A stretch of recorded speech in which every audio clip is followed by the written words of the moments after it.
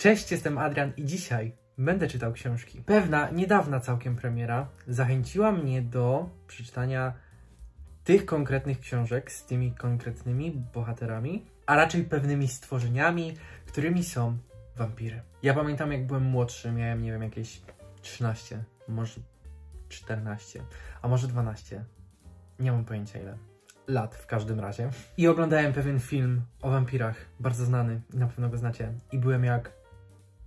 Kocham wampiry. Jezus, chcę być wampirem. I w sumie ta obsesja na punkcie wampirów nigdy mi nie przeszła. Dlatego jak zobaczyłem tę książkę, to pomyślałem, biorę i czytam. Ale stwierdziłem, co? Jedna książka na film? Więc dobrałem sobie też drugą, którą bardzo chciałem przeczytać i cieszę się, że sobie stworzyłem okazję do jej przeczytania. Ale okej, okay, może Wam pokażę te książki. Pierwsza z nich to właśnie ta premiera, która mnie zainspirowała. Wampirze Cesarstwo. To kupiłem już jakiś czas temu i e, nadal ją czytam już prawie, prawie już skończyłem.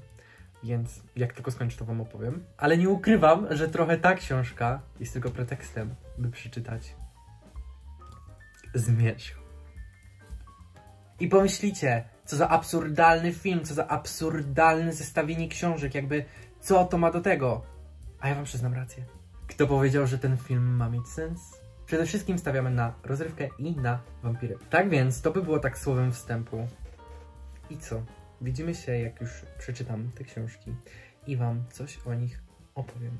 Okej, okay, let's go. To jest to wydanie takie e, odwracane i tutaj z drugiej strony jest opisywana ta sama historia, tylko że Bella jest Bellem, a Edward jest Edzią.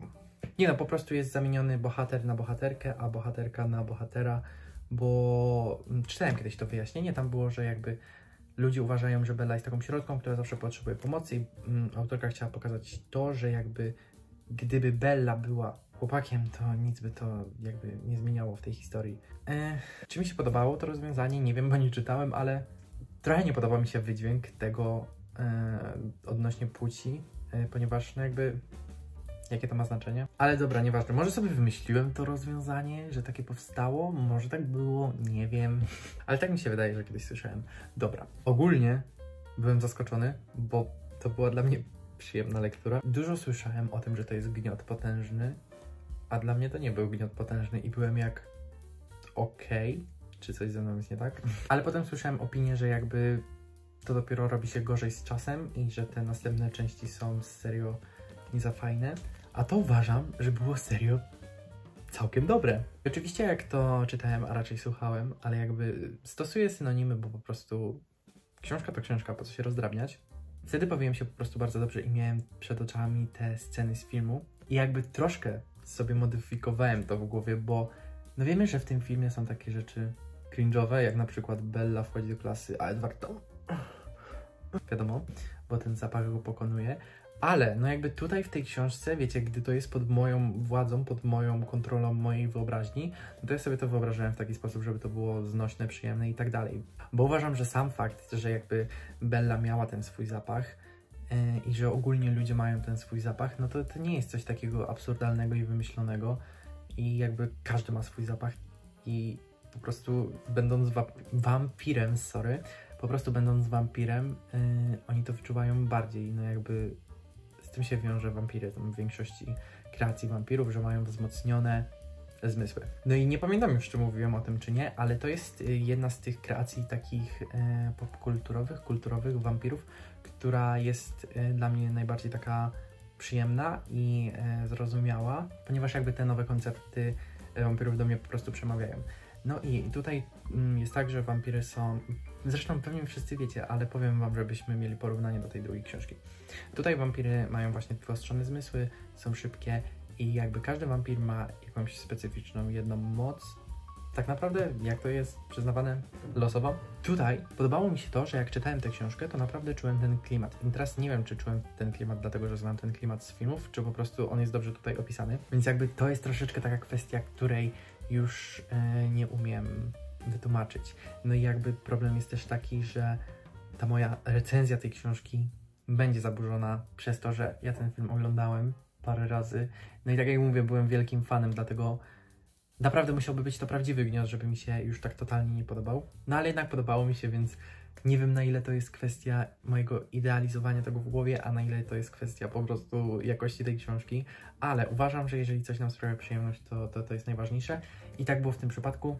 Wiecie, można sobie było lepiej na przykład wyobrazić, jak oni tam biegają e, pomiędzy tymi drzewami, albo jak nasz Edward wychodzi w tym słońcu, w tym lesie i świeci jak diament. Nie, jakby serio, wydaje mi się, że po prostu y, nasza wizja trochę jest spaczona tym, co widzieliśmy y, na ekranie. Nie do końca wiem, czy będę się zabierał za te następne części, bo mm, może być to trochę ryzykowne, chociaż znając mnie to, to zrobię. Tak więc please don't judge me, please don't hate me, ale serio mi się to podobało. I teraz tak sobie myślę, czy coś mnie tak jakoś bardzo zakuło, coś mi bardzo nie odpowiadało. W sensie na pewno tutaj dla mnie takie zauważalne i trochę problemem było to, że oni bardzo szybko nawiązywali swoje relacje. Yy, I to nawet nie, że Bella z Edwardem, tylko Bella po prostu z całą rodziną. I tam był chyba moment, że ona powiedziała o Alice, że jest po prostu jej przyjaciółką, gdzie jakby, no wiecie, ile oni się tu znali? 5 dni? No nie wiem, nie wiem, bo jakoś chyba tutaj nie było postawione nacisku na czas, ale no to było do, dla mnie troszeczkę za szybko. Ale czy jestem w stanie to wybaczyć? Oczywiście, że jestem. A no i była też taka różnica, że w filmie chyba była ta dziewczyna, y, tą taką wampirzycą, co się wkurzyła na Bellę, tak w ogóle z dupy totalnie ją śledziła, a tutaj był to chłop i on chyba miał po prostu ten właśnie swój wampirzy dar, taki łowcy. No to też było trochę takie dziwne, że jakby on sobie po prostu uroił, że chce ją zdobyć, no ale jakby stwierdzam, stwierdzam? Przyjmijmy, że po prostu to jest ten dar taki wampirzy i tak to działa i jakby nie starajmy się poddać tego konkretnej analizie, bo raczej do niczego nas to nie doprowadzi. Boże, ja mam dzisiaj włosy jak Alice, po prostu takie wiecie, odstające. Dobrze. Nie wiem, wiecie co, ja po prostu już przestanę gadać, ponieważ yy, wydaje mi się, że w mojej głowie dochodzi zbyt, do zbyt wielkiej idealizacji, dlatego teraz chcę zrobić taki mały educate yourself, education kącik. Jak jest kącik po angielsku? No idea. Chcę powiedzieć coś, co może do kogoś dotrze i może komuś przyda się i będzie właśnie traktował to jako coś potrzebnego, coś, co właśnie chciałby usłyszeć. Otóż uczucie, które ja mam właśnie teraz w tym momencie, bo jakby wiecie, ta książka tak ogólnie jest uważana za złą. Ale mi się ona podobała i chcę powiedzieć to, że w mojej głowie troszeczkę właśnie teraz miałem takie coś tu jest nie tak, skoro tyle ludzi mówi, że jest niefajna i tak dalej, to czemu mi się podoba? No i wiecie, od razu takie myśli, że a takie po prostu głupie wewnętrzne poczucie, że to mi się nie powinno podobać.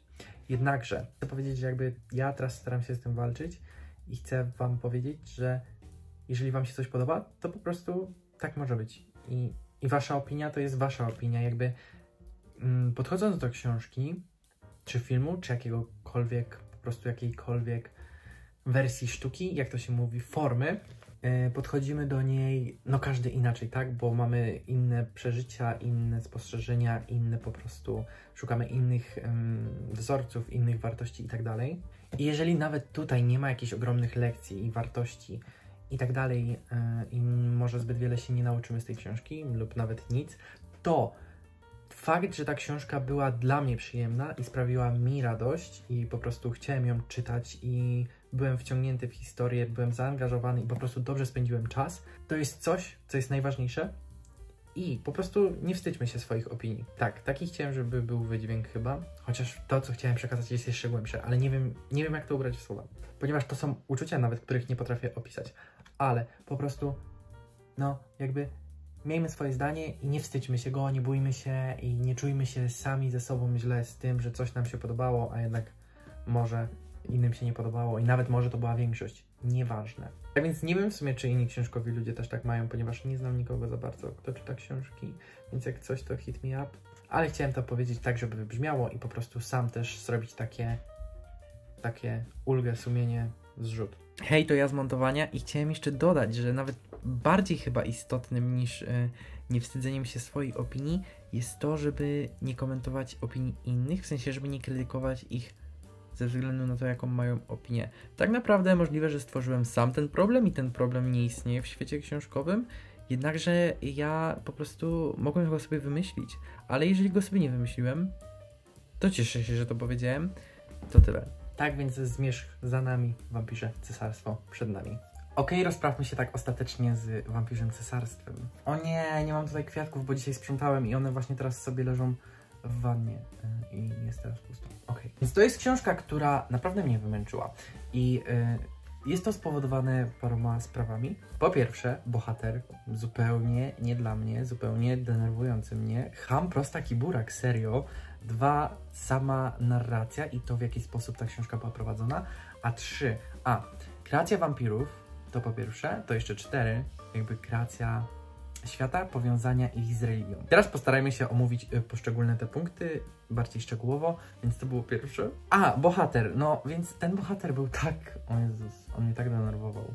Jakby na koniec, pod koniec zostało to trochę wyjaśnione, czemu on taki jest, ale no jakby przez całą tą książkę byłem jak zamknij się proszę i przestań już.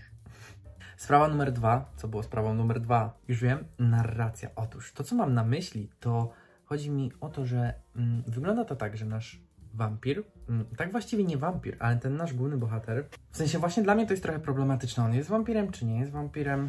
Dobra, to jeszcze takie szybkie wyjaśnienie, ponieważ jego ojciec był wampirem z wysokiego rodu, a jego matka nie była wampirzycą, a on się urodził wampirem. No i w sumie ten, ta cała wiara uważa, że on jest przeklęty i tak dalej, bla bla bla bla. Ale dobra, wracając, co ja chciałem powiedzieć. A, narracja. Już drugi raz sobie przypominam y, o narracji, więc tak. Mamy tutaj sytuację taką, że ten nasz bohater siada, bo w sumie jest schwytany przez jakby właśnie wampiry. I ten pan wampir mówi mu, opowiedz mi historię. No i on mówi, nie, nie opowiem ci, no ale potem w końcu opowiada, co nie? I problem jest taki, że on opowiada te historie niechronologicznie.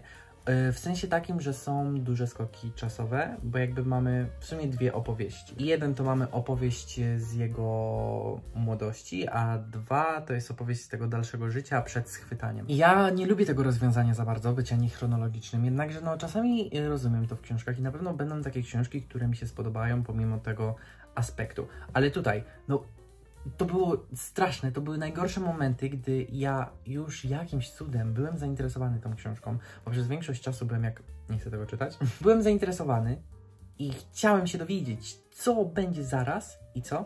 Nasz bohater sobie stwierdza, o, wiesz co, to ja w sumie teraz ci powiem tę historię wcześniejszą, z mojej młodości. Ja byłem jak, Wow, serio? Jakby ja tutaj teraz nie chcę hejtować tej książki jakoś mocno i, i krytykować y, i w ogóle, ale to jest chyba pierwsza książka, przy której dosłownie zasnąłem trzy, może cztery, albo nawet pięć razy.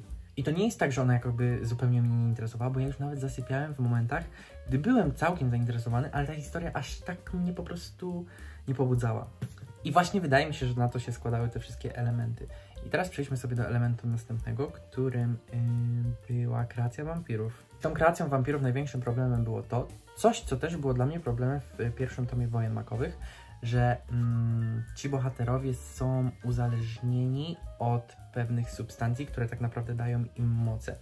I jakby to jest logiczne w przypadku wampiryzmu, że są uzależnieni od krwi, jednak ci panowie, którzy są wampirami, ale właśnie jakby synami tych mm, wampirów z wysokich rodów, oni nie spożywają krwi ludzkiej, albo na przykład tak jak y, kalenowie mm, krwi zwierzęcej, a oni mm, pozyskują krew właśnie ze swoich ofiar i, i chyba właśnie tymi ofiarami są po prostu te wampiry z tych wysokich rodów i biorą tą krew, taką nie wiem, destylarkę i po prostu powstaje sanctus, czyli coś takiego do sakramentu, bo właśnie no, ta kwestia religii, że oni to tak przyjmują, takie nabożeństwo. Właśnie tym sanctusem jest ta sproszkowana taka krew, którą podaje się w formie dla mnie zupełnie, no nie podoba mi się ta forma, ponieważ to jest yy, forma taka palenie, więc wziewna, aspiracyjna, no yy, czemu, czemu? Już bym wolał, żeby te wampiry po prostu piły tę krew, a nie paliły ją. Jakby to nie przemawia do mnie i nie ma za bardzo sensu. No i cztery, ta kwestia wiary.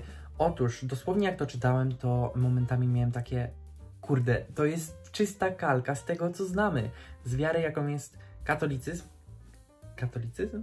Ogólnie chrześcijanizm i tak dalej. Po prostu są takie momenty, takie elementy, które możecie wziąć z tej książki, no, z tego, co znamy, z wiary i postawić między nimi znak równości. Dosłownie to była ogromna kalka. I to mnie mega zniechęcało, ponieważ jeżeli nawet już miały, miały te wampiry być powiązane z religią, to liczyłbym na coś bardziej oryginalnego, a nie po prostu na coś, co już znamy i to jeszcze z naszego prawdziwego życia. Więc tak ogólnie, no jak będzie ta następna część, to ja ją przeczytam, ale no ta mnie nie porwała i ona nie jest do rereadu zdecydowanie. Wydaje mi się, że już się rozprawiliśmy z tymi wampirami raz na zawsze. Czy ja powiedziałem wszystko, co chciałem powiedzieć?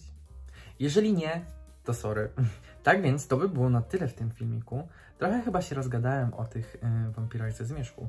Jednakże, no cóż. Tutaj standardowo macie mojego Goodreadsa, jeżeli jesteście zainteresowani moimi update'ami czytelniczymi i widzeniem, patrzeniem na to, co czytam na bieżąco i na bieżąco, co myślę o tych książkach, które czytam na bieżąco, to to jest najlepsze miejsce, by je śledzić. Zdecydowanie tak, polecam. Tak więc mam nadzieję, że filmik Wam się spodobał i możecie mi dać znać w komentarzach, czy znacie jakieś książki właśnie o wampiryzmie, wampiryzmie, wampiryzmie, wampiryzmie, chyba wa wampiryzm, wampiryzmie, wampiryzm, wampiryzmie.